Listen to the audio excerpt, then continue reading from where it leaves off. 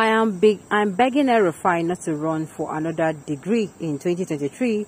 Nigeria needs a thinker. Tinubu. Welcome to the news and please subscribe to our channel.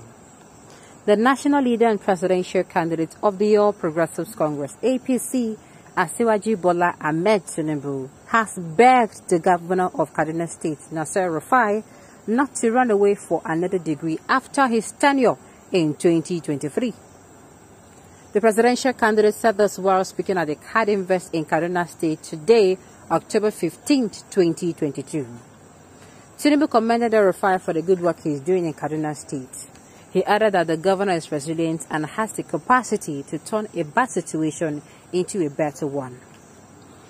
The former governor of Lagos State said Nigeria needs a thinker like Nasir Rufai. He begged the governor not to run away after leaving office in 2023. Tinubu also said he has the capacity to revive the Nigerian economy. He said, Let me assure you, as I stand before you, we know the problems of democracy, the hills and the valleys of the economic challenge changes, rather, but we have in this country is confidence. But what we have in this country is confidence to is confidence. They can do, they will do. All right, uh, Kaduna people, make una tell us how Governor El-Rufai don't make this country, I mean, don't make Kaduna State better. Oh.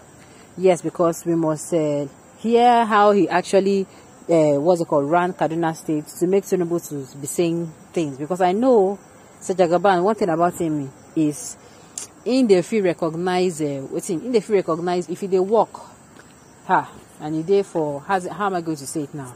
If you are somebody who is talented, who is good, who knows his onions, ah, They you know they allow those kind of people sleep from your palms now. Yes. Alright. What's different? Okay.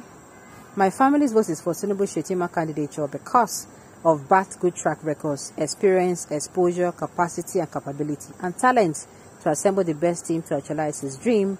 BAT 2023 is for sure. Make I remind you now. Do you people know that this man that you people are hailing like this I know that uh, in Leeds, he did his work. He did what a governor should do in Lagos. But should I remind you that this is not the same man as at that 20, 1999 to 2007? I just make I remind that because a lot of people are like holding on to, you know, he's no longer that person. He has changed.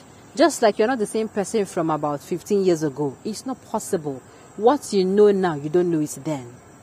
You understand? Not even talk of somebody who is aging. He don't age. He's, he's looking frail. He's looking fragile. I get him before. No be property. I beg. I just make I remind you now. Alright, Tinubu and Buhari are not the same. Tinubu is the architecture of Lekki Trade Zone. This is now Economy and Development City in Lagos since 2001. The facts are there. Eh, okay, oh, no problem.